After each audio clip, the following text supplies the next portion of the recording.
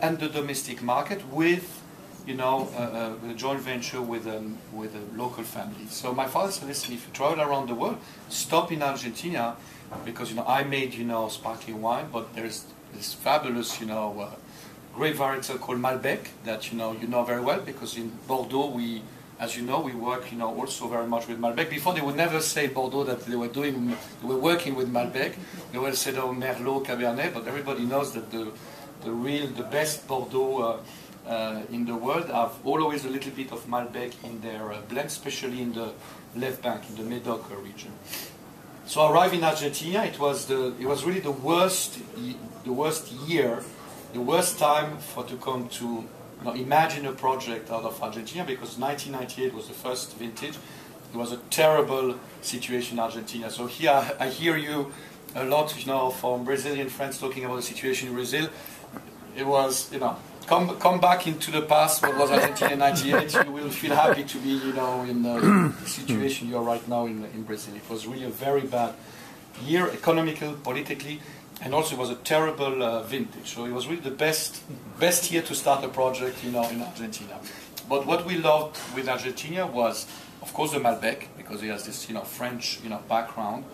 What we love is all vines. So this we're going to talk a lot about today. All vines. We believe that the best wines in the world are made with all vines. There was great potential, you know, with the all vines.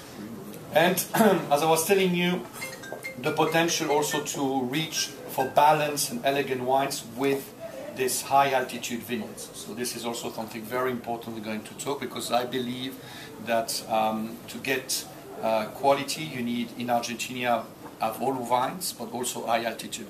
And we will talk about a little bit how high altitude is important for us.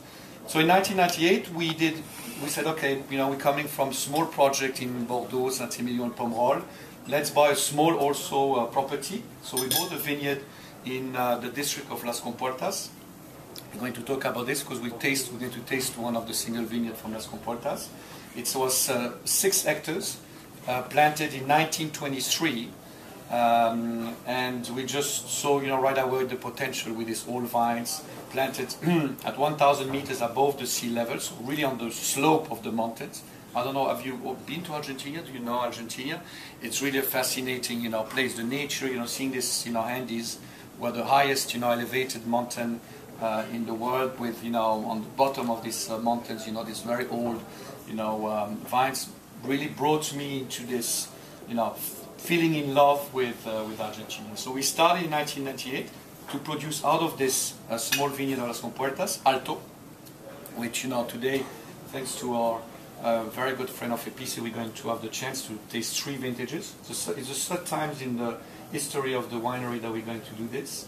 Um, and you will see why you know Alto is has become one of the iconic um, wines of uh, Argentina. So 98 first vintage, terrible vintage, but the wine is amazing, and I still had the chance uh, four months ago in Hong Kong to have a collector who brought me a bottle of 98 to share, and it was still an incredible wine. And and you know at that time Argentina was was known to do uh, quantity-driven wines. It was, you know, but basically people were just, you know, uh, producing the wines to be drunk in Argentina. So quality was not the priority at that time in Argentina. We saw the potential of doing, you know, quality wines, and Alto is one of these wines who changed really. you know, the, the Argentinian industry, showing the potential of you know, Argentina to do quality but also quantity-driven wines.